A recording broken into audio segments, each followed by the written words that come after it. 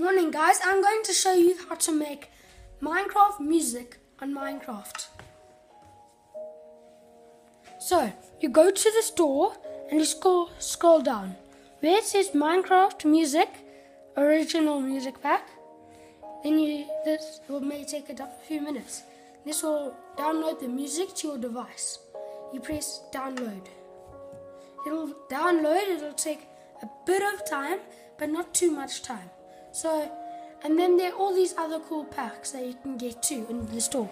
So there's this one, it's new. Get the pack and make your home distant lands or ocean depths or campfire tales. Yeah, so I guess those are all skins, very creepy skins. And candy texture, my cousin got that. It's really, really cool. And that one cartoon looks really funny.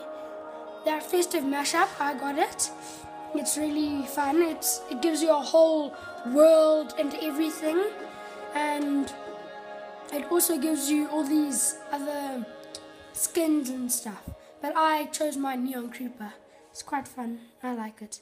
So it's almost done downloading, as you can see. Almost done. And okay, yeah, one more thing to go. Looks like experience level and it's just going up and up and up and then you've got it. And then you can get whatever you want. Yeah so there. Downloaded. Oh excuse me. And that's how you make uh how you get sound on minecraft. So there. Yeah so thank you guys for watching. Please subscribe subscribe subscribe and like. Please thank you. Bye